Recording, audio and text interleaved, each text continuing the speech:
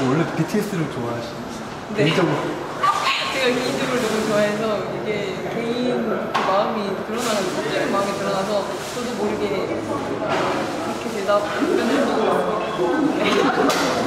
그 앞에다 재미로 아까 또그 프로그램을 될것 같다 본인이 어떤 역할을 해서 어떤 프로그램을 만들고 싶다 네. 그런 생각 같은 거? 예예 일단은 쇼핑 가요쇼에서 영텐이라는 프로 이렇게 처음이잖아요.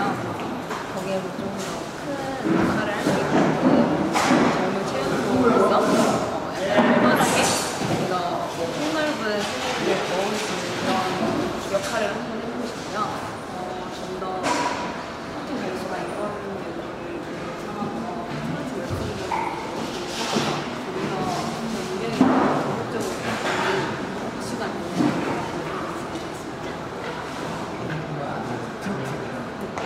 그 부분은 트로트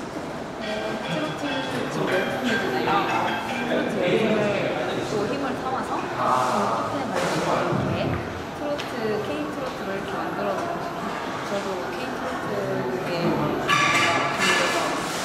트로트의 역할을 할 수 있는 그런 역할을 한번 해보고 싶어요. 프렌디 모르겠어요. 다시 예, 그 부분만 예, 역할 네.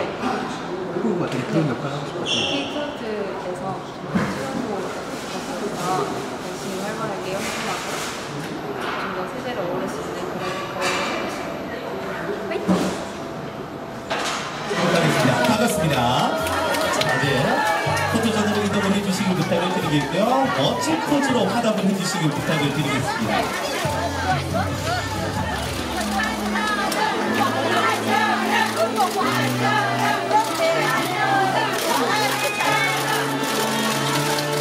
네, 고맙습니다.